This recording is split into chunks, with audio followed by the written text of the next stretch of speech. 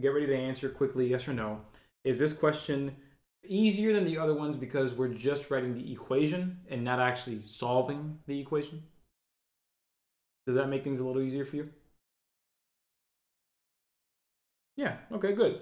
So let's go ahead and understand that. That's what we're doing. We have, you know, we have the linear equation y equals mx plus b that we're trying to fill in, but not solve. We don't need to fill in the x. We don't need to fill in the y. It's all already there.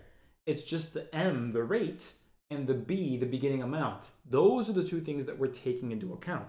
So let's make sure that that's what we're focusing on. Again, one more time, we need the rate and the beginning amount. Those are the two things we must focus on for success. So right here, the rate, and we're focusing on the beginning amount. Boom. So with that said, let's go ahead and figure this out let's go.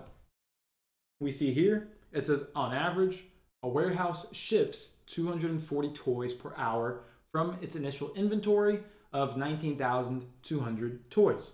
Okay, so Everyone, that word per right there, I think gives it away that we're dealing with a rate. Yes or no, do you agree or disagree? The purple here, purple highlight that I'm about to show you, the word per is what gives it away. 240 toys per hour.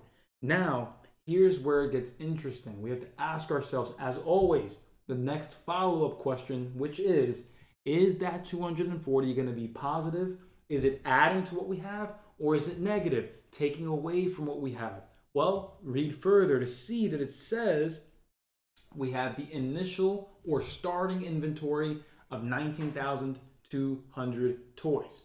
So, if we're trying to talk about, again, the amount of toys that are in the factory's inventory, if we start off with 19,200 and we're shipping out 240 every hour, are we going to talk about that 240 as a positively impacting number or a negatively impacting number? Which one is it?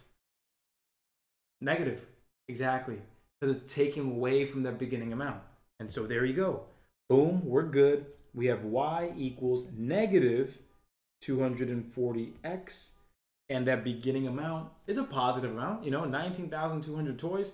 You can't say you have a negative number of toys. So yeah, that's going to be a positive amount no matter what.